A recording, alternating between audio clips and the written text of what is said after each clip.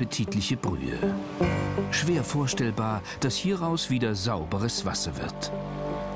Mit den meisten Verschmutzungen werden unsere Kläranlagen spielend Einige Substanzen allerdings bereiten zunehmend Probleme. In den letzten 10, 15 Jahren haben wir vermehrt festgestellt, dass wir zwar klares Wasser haben, aber doch viele sogenannte Spurenstoffe drin haben, wie Arzneimittel, Waschmittelinhaltsstoffe, Pflanzenschutzmittel. Ein Cocktail, der Umweltchemikern wie Klaus Kümmerer Sorgen bereitet. Die Liste giftiger Chemikalien im Wasser wird immer länger.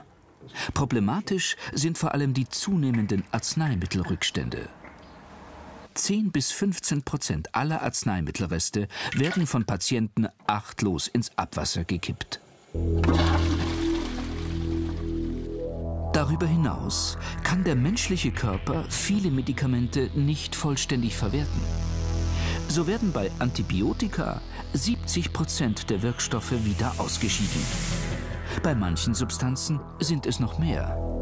Beim Grippemittel Tamiflu 80 bis 90 Prozent und beim Diabetesmedikament Metformin sogar 100 Prozent. Bedenkliche Zahlen. Medikamente, die uns gesund machen sollen, kontaminieren mit ihren Inhaltsstoffen auch unser Wasser. Und selbst moderne Kläranlagen schaffen es nicht, diesen chemischen Cocktail aus dem Wasser zu entfernen.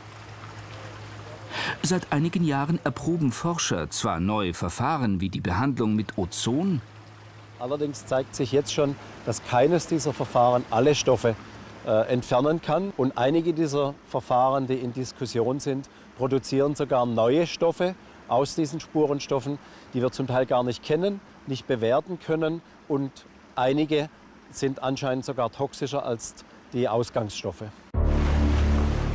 Tatsächlich gibt es schon Beispiele dafür, dass Arzneimittelrückstände unliebsame Auswirkungen haben können. Seit einigen Jahren registrieren Wissenschaftler, dass Rückstände von Antibabypillen im Wasser zu einer Verweiblichung von Fröschen und Fischen führen. In den USA beobachten Forscher, dass männliche Alligatoren zu kleine und deformierte Geschlechtsorgane entwickeln. Die Ursache auch hier Hormone im Wasser. In Indien und Pakistan drohte vor einigen Jahren sogar das Aussterben von drei Geierarten. Sie hatten über verendete Rinder Rückstände des Schmerzmittels Diclofenac aufgenommen.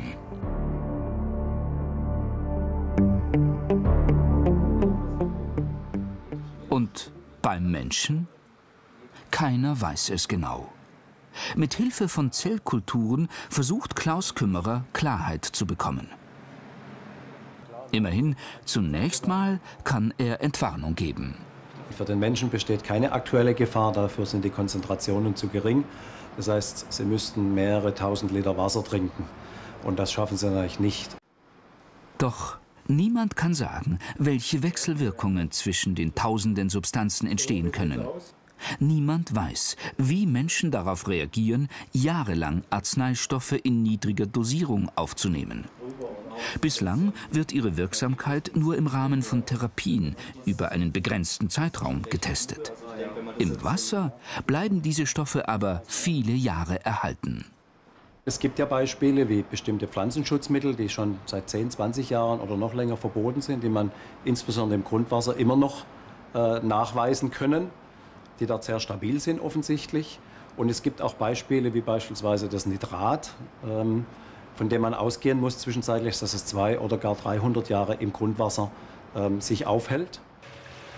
Statt Generationen mit chemischen Stoffen zu belasten, wäre es natürlich besser, wenn sie von unseren Kläranlagen problemlos abgebaut werden könnten.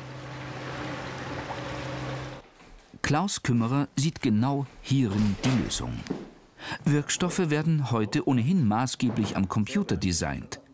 Wie in einem Baukasten lassen sich die Moleküle und ihre Eigenschaften kombinieren. Der Chemiker hat diese Tatsache genutzt, um gemeinsam mit dem Deutschen Krebsforschungszentrum einen Wirkstoff gegen Krebs zu entwickeln, der rückstandsfrei wieder abbaubar ist. Mit Kooperationspartnern entwickelt Klaus Kümmerer schon die nächsten Substanzen, diesmal für die Textilindustrie. Und er hofft, dass auch die Pharma- und Chemieriesen sich endlich zu ihrer Verantwortung bekennen. Das hat viel mit Umdenken auch zu tun. Es ist nur eine wissenschaftliche Frage, eine Frage der Machbarkeit. Die Tools, die Instrumente haben wir eigentlich zum Großteil, sondern es hat auch was mit Selbstverständnis und Wollen zu tun. Auch wenn bislang keine konkrete Gefahr für Menschen besteht, ist das Grundwasser erst einmal kontaminiert, lässt es sich kaum mehr reinigen. Vorsorge ist deshalb dringend notwendig.